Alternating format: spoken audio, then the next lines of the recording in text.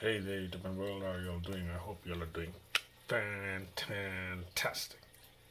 I'm doing fantastic here.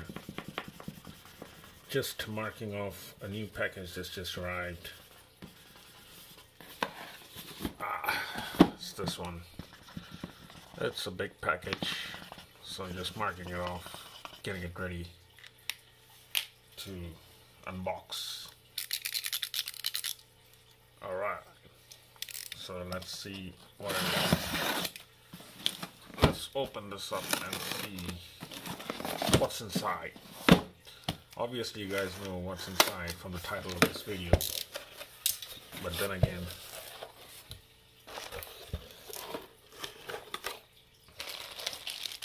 okay, I wasn't expecting this. okay. This is a surprise. Black pepper. I was wondering where my black pepper went. It did show delivered. I wasn't able to locate it.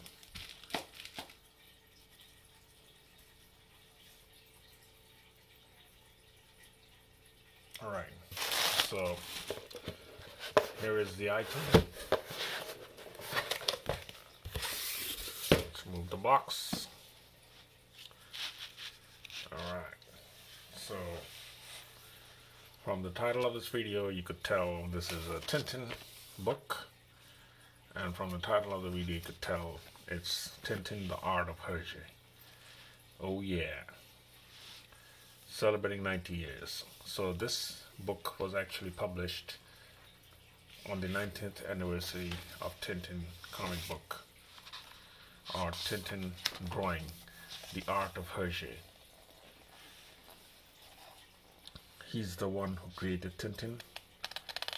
And so this book is dedicated to Hergé the creator of Tintin the artist of Tintin.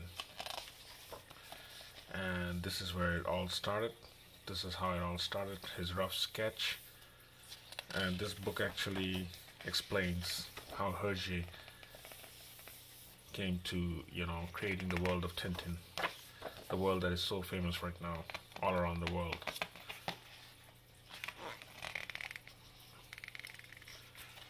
So this is actually a museum in Belgium, Brussels, Belgium, because Tintin is originally from Belgium. And I think back in Belgium they call him Tantan. It's not Tintin, it's pronounced Tantan. Because I have a Belgian friend who goes to Belgium a lot. And he brings me a lot of Tintin stuffs from the Tintin shops and museums back there in Brussels. And he never says Tintin, he says Tantan. So, yeah. I guess in Belgian language, you don't say Tintin.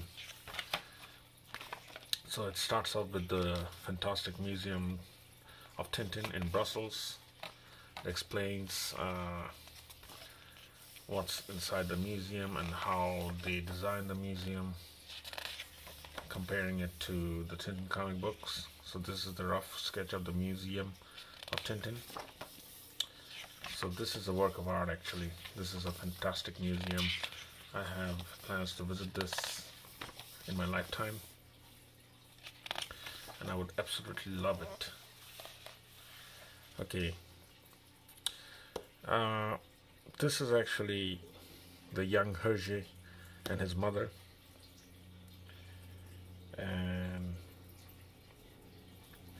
Believe it or not, this is actually Hergé dressed up as girl.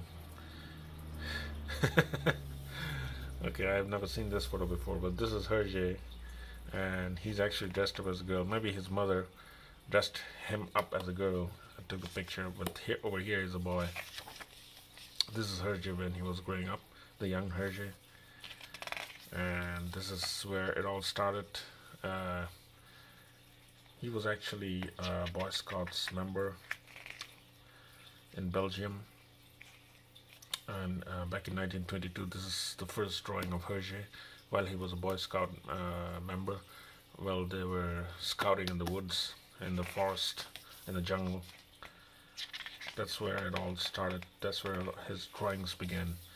So there's some reference to real life photos and then drawings of Hergé comparison. This is actually a must-have if you're a big Tintin comic book fan. If you like Hergé's style of drawing, which is pretty, pretty, pretty unique. If you have been watching Komputar Channel uh, since the start, you'd know that Tintin comic book is actually a favorite of mine because of the style of drawing that Hergé has. Georges Remi, the style, the line style, they call it the line drawing. So that's the drawing that Hergé actually invented, and that's the type of drawing that I like. I like to look at and I like to, uh, you know, read, and uh, it's it's pleasing to the eyes. You know what you're looking at. You know what's going on in the picture, and you feel good looking at the picture because it's so good. The quality is so good. So these are the early works of Hergé. This is a big book, a huge book actually. Uh, previously it was published in two volumes, but they made it into one volume in the 90, uh, 90 years of Tintin. And then there it is, there he is, Hergé Georges Remi and his uh, Boy Scouts member friends. That's where Tintin actually started. This is the illustration that he took while they were, you know, camping in the woods, in the forest, in the jungle. Yep, this is super cool. This is actually history, and there he is. This is a piece of art, Tintin in Congo. This is the actual Congo picture. Uh, I'd like to state a fact here I've made a video on Tintin in Congo and I've titled the video a racist comic book. Well it was actually more of a question. It's not a title it's a question whether you think it's a racist book or not. You see back in those times racism had a different image. I mean when Tintin was drawn by Hergé he was actually depicting historical images. He wasn't trying to implement, you know, fantasy. Uh, he wasn't trying to make up images or create fantasy images and put it in into Tintin. He wanted to have realistic effects on the Tintin comic book. So this is this picture here is actually a very very accurate description of what, what Hergé was trying to do. You see, he was trying to make Tintin look like one of those Belgian, uh, you know, settlers back in Congo. So, Tintin is actually not a racist comic book. Hergé is not a racist guy because I say that because if you have been reading Tintin comic book, you'll see Hergé has actually been very anti-racist. Over here, Tintin is actually protecting the Chinese folks from brutality by this British guy. This is a British guy. He is actually a racist and Tintin hates him. Tintin actually calls him a brute. So uh, this means Hergé hated this guy. Hergé hated racism. So this was in the Blue Lotus. If you guys have been reading Tintin comic book for a long time, you'll know this scene is from the Blue Lotus. And this guy, this British guy, was actually trying to torture or hit a rickshaw puller, a Chinese rickshaw puller, and he was abusing him and uh, calling him, you know, racist names and giving him racist titles. And then he came up, Tintin came up to him, to this British guy, took his cane and snapped it into two pieces. And he, Tintin pointed out that he was the racist, racist guy that was who was not invited in China. They don't like racist people in China. So if you're in America, you're, if you're in US right now, uh, the Chinese Chinese folks after COVID-19 are badly affected and they have been victims of racial abuse, racial uh, attacks and whatnot. So this is actually a very good picture right now even if it's after almost 70 or 80 years, the world has not changed much. So this sort of guys, they still exist. And Hergé pretending to be Tintin is anti-racist. So let's get that clear. Tintin is not a race racist comic book, alright? Tintin is actually anti-racist. That is why Tintin got so famous around the world, especially in Africa, in India, and in the Middle East. Tintin is very, very famous with Middle Eastern kids, and they don't like to read comic books, but they do read Tintin comic books. You know, Middle East does not allow a lot of comic book because of, uh, you know, the content. It's uh, like if if you look at Spider-Man and Superman, you know, it's it's not allowed in in the Middle East, Middle Eastern countries because of the images it depicts, especially uh, the images of female of the female gender. But when it comes to Tintin, it's really really uh, friendly all around the world: China, India, you know, Africa, Middle East, sometimes in America. Yeah. So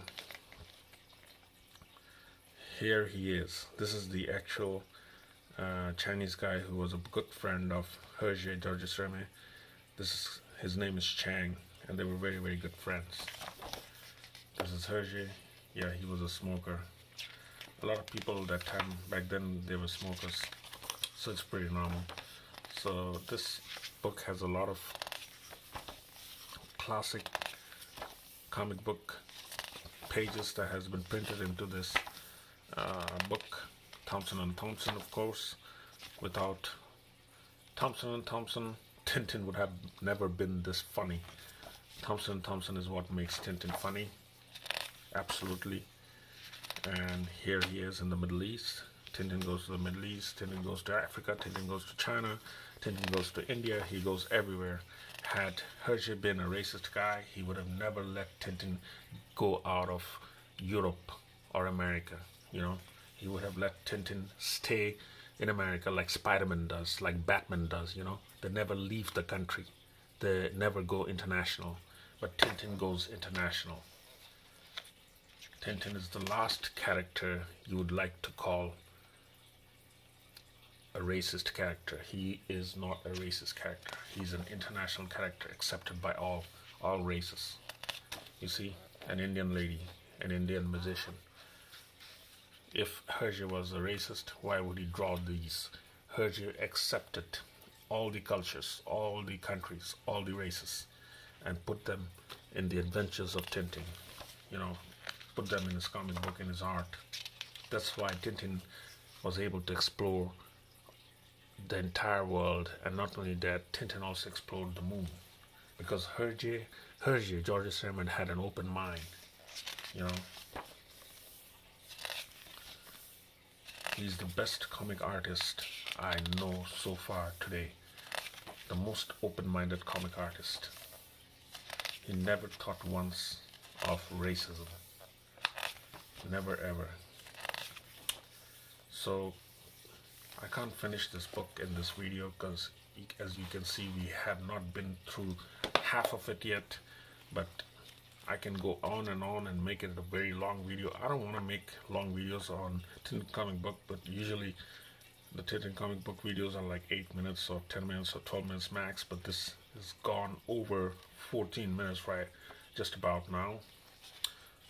King Otto's, scepter, the scepter is real. Yep, so you're gonna have to find out what else this book contains, all the mysteries and everything. Uh, you can still find it on Amazon and eBay.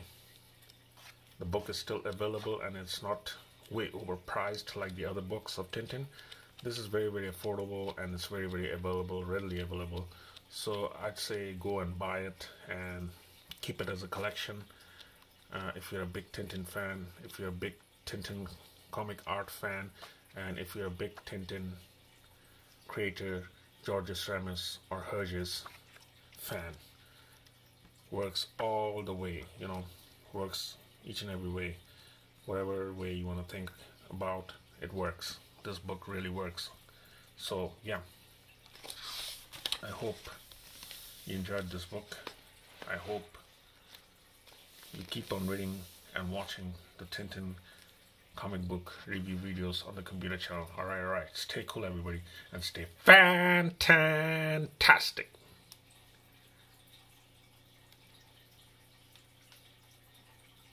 Oh, yeah.